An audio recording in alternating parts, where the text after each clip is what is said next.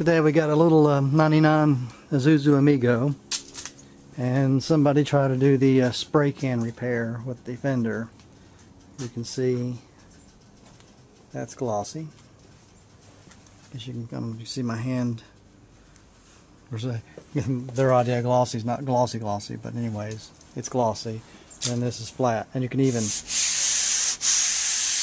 like sandpaper. They sprayed spray can paint over into the trim because the trim supposed to look like that. And there has a little crack in it right here. So today I'm going to repair the crack, sand that uh, silver out, and sand that uh, flare out, and then uh, repaint it.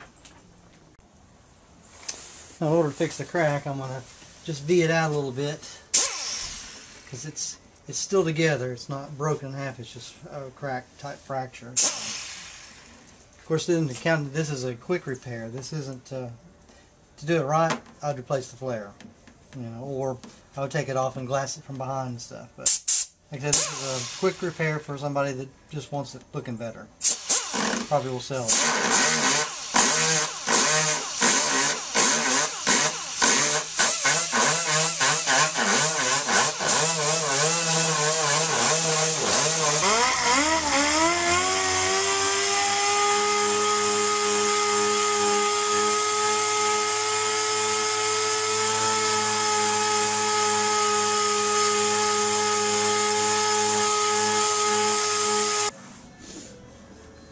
It turns out that uh, when I was looking at it, the uh, front two clips of those two holes you see, kind of the front and the back and the middle there. See if I can zoom in on them.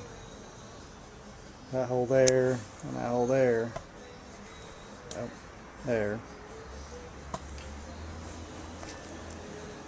Were snap-in clips that were broke, so the whole front thing was dangling. So I went ahead and, plus they painted the little black rubber seal, so I'll have to clean the paint off of that. So this will make it easier.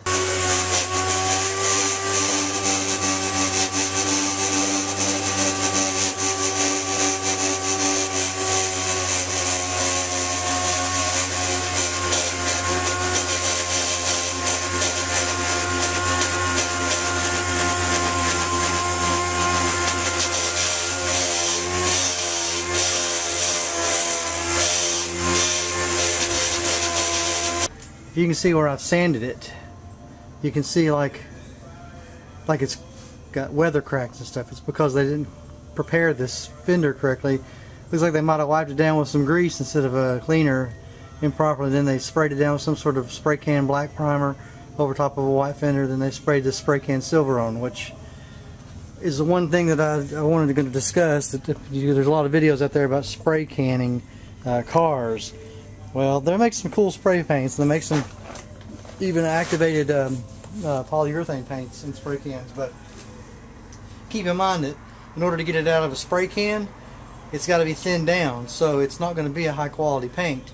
So even if it looks good, you know, for the first week, it's going to deteriorate, and it's going to make it harder for the person who's actually doing the, the repair with real automotive finishings because I don't know yet until I spray a primer or something on this, but this could very well just all bubble up like paint remover and have a reaction that's just going to be crack fix because of using junk to, to spray it with.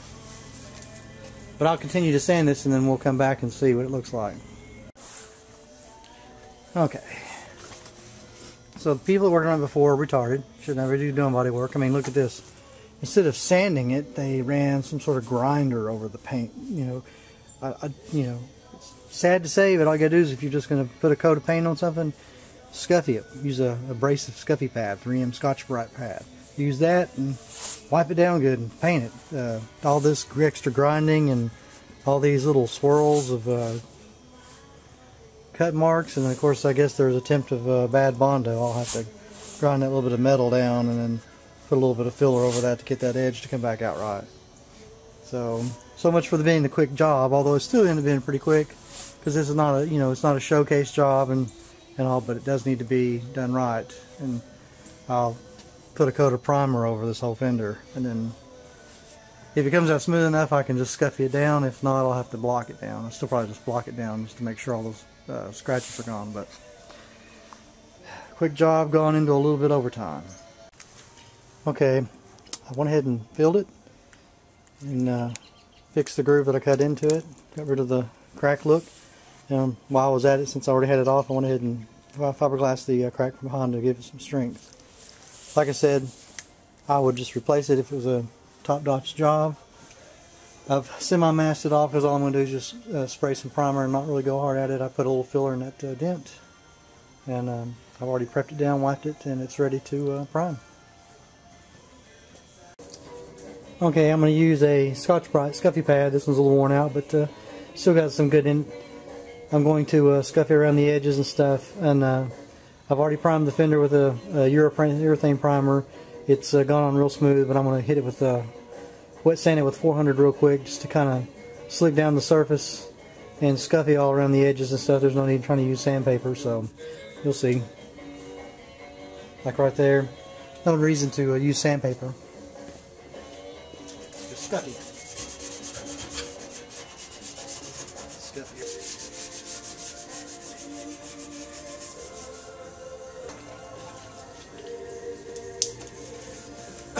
wet down just a little bit.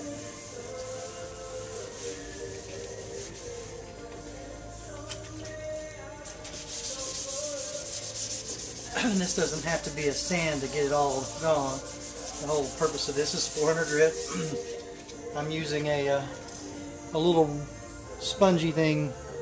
I'm not even sure what they're called. Uh, you can get them at the paint stores though. But uh, I use it when I color sand and when I whenever I'm on the curved surfaces and stuff. So that way you don't get a square cuts.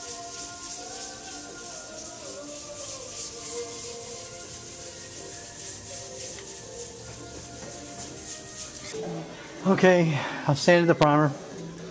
It cut through a little bit in some places. It's not bad. I mean, it's real mild, but uh, it's sanded. I've scuffied that piece. I've got it all masked off. Now comes a wipe down. Attack it off. And shoot it to it. Oh, by the way, carpenter bags. You can buy them at Walmart or anywhere. It's fairly inexpensive. I think seven, eight bucks for, I think it's 20, 25 bags perfect wheel covers. Now as you can see, it's uh, looks pretty close on the match. Uh, customer's happy with it. I'm happy with it. And it looks a lot better than a spray can paint.